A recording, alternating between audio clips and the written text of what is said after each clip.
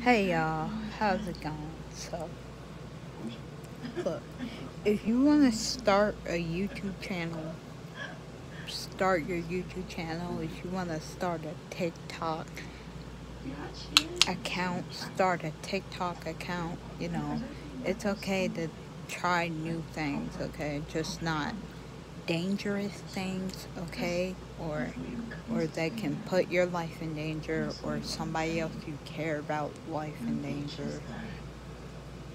You know. Y'all get what I'm saying.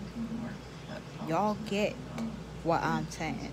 And it's crazy because it's so many people that don't understand that.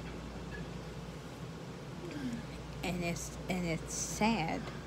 And and I'm like you gotta have a understanding of a situation on both sides.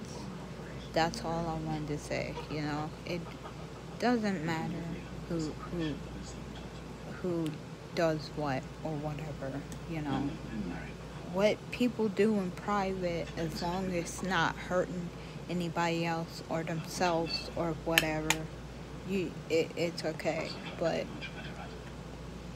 you know, it, it's it's never okay to just dump on somebody else because you're not having a good life or whatever the heck. I just wanted to say that.